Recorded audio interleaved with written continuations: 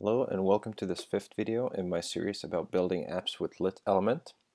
In this video we are going to take the application that we built in the previous four videos and turn it into a progressive web application. If you're unfamiliar with the term, it simply means an application that loads fast, that works reliably regardless of network connections, and in our case it's going to work offline as well. So in order to turn an application into a progressive web application, one of the best places to start is in the DevTools in the application uh, tab here. This will essentially walk you through the different steps needed to turn this into a progressive web application. So the first thing that it's going to tell us that we need to do is add a manifest file. So let's jump into our code and fix that. Here in our source folder, we are going to create a new file for the manifest. We'll call it manifest.webmanifest.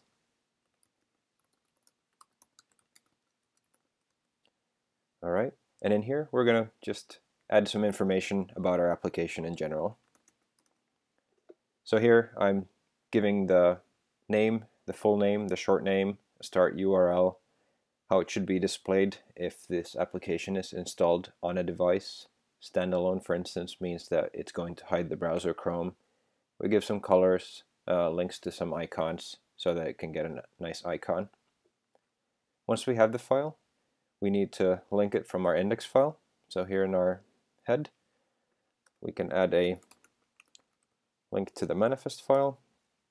So just uh, rel manifest and then the at, uh, URL to our to our manifest file. So we'll uh, save this, go and check if this worked. So right now uh, there's something weird with this, it's not working and this is actually because of the Webpack configuration that I have here and it's only copying over assets that I define it to copy over unless they are uh, discoverable through the uh, through the JavaScript dependencies. In this case, since it's not a JavaScript dependency, it's not going to get picked up by itself but we can add it here into the assets array and it, uh, to get it copied over. So just uh, add the path here.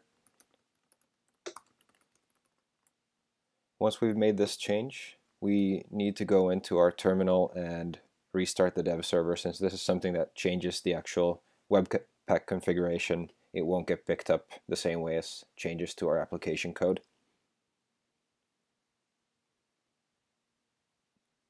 Alright, so the server is up and running. Let's go back here. And now we can see that we don't have anything red here. If we go into the application uh, tab here, we can see that those uh, properties that we defined in the manifest file have been picked up and are displayed here. The next thing that we need to do is add a service worker and that's something that we can actually try out here. So if we click on add to home screen, uh, it's going to say that we're not able to install this application quite yet because it doesn't have a service worker. Alright, so uh, let's go into our code again and go into our index.js file here. So right now on our load listener we're initializing the router. Let's add one more line here. Let's call register service worker. So we'll create a new new uh, function called register service worker and then we'll create an async function for registering the service worker. The registration looks something like this. So you first do a feature detection, make sure that you have support for service worker. If you do, you call uh, navigator.serviceworker.register and you pass in the service worker file, which is a JavaScript file that we'll get to in just a second.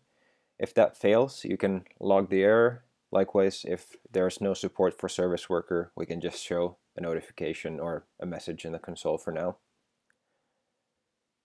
The service worker file we already have here, but it's empty right now. Uh, in this case, in my Webpack configuration, I have added support for a plugin called uh, uh, called Workbox. Workbox is a plugin by Google that will look at the assets that Webpack is producing and what it'll do is it will cache those assets automatically and it will serve those assets when we're offline or if our connection is bad. So What this will do is it will inject the manifest and we need to use that injected value in our service worker.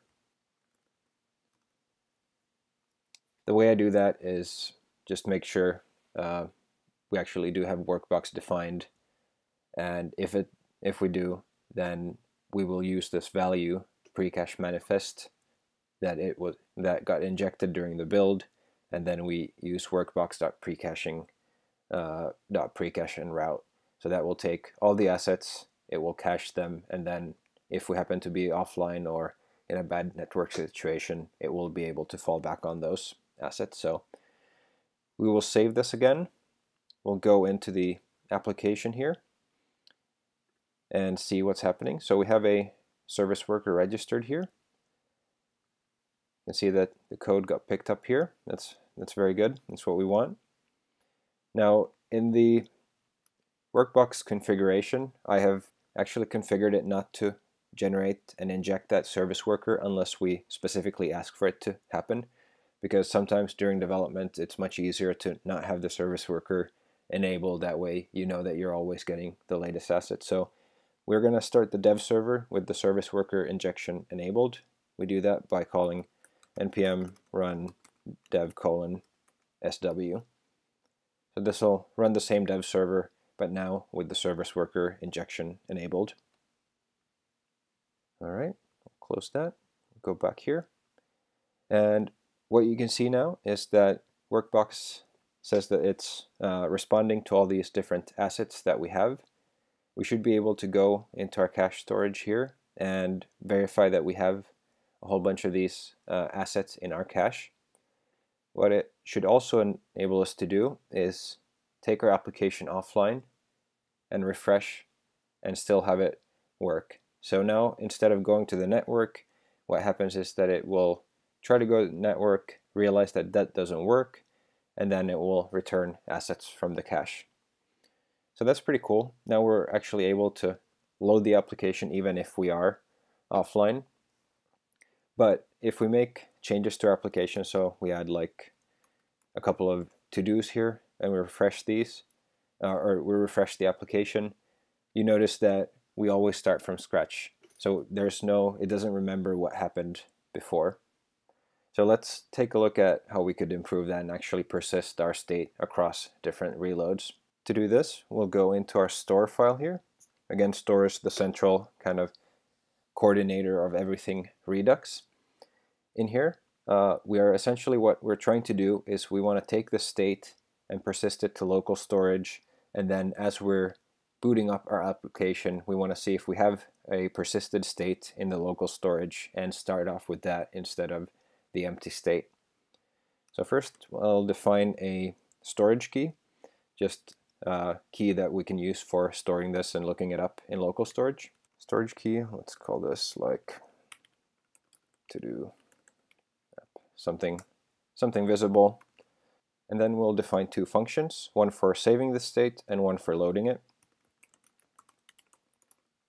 So save state will take in the state and it will add that to the local storage. We'll call local storage dot set item. We'll give in this storage key as the key, and then we will run json.stringify on the state. So that's saving the state. Then for retrieving the state,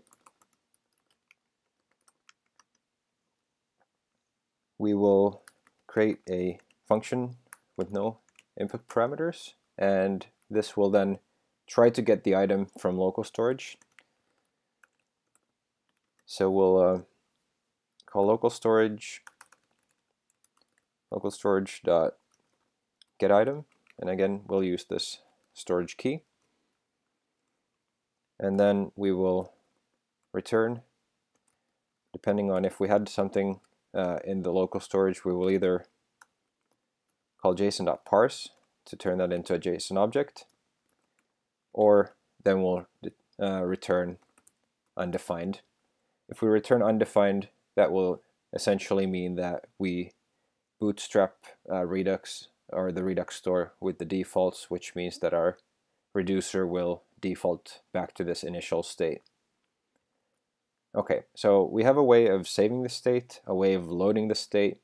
Now we need to initialize this so that the when we create the store, it will actually go and check if we have a state from before. We do that by passing in load state as the second parameter, or actually calling load state, I should say.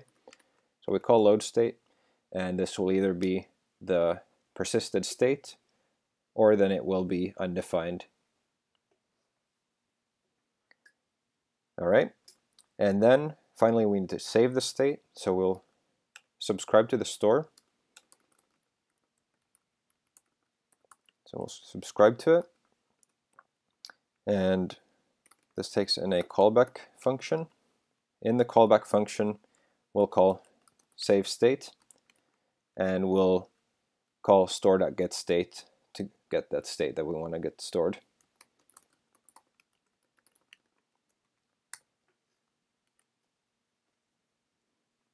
Okay, so we'll uh, go back to our application. Let's add some to-dos here. One, two, three, and refresh. And there you go. You can see that these are now persisted. If I mark one as done, and I refresh, it will still be persisted. We can go offline, we can refresh, and it'll still work. So now we've turned our application into a fully offline capable progressive web application. And that's it for this series on LitElement. I might still add a couple of bonus videos on things like using TypeScript. If there are other topics that you'd like me to cover, just let me know in the comments and I'd be more than happy to take suggestions. Thanks for watching.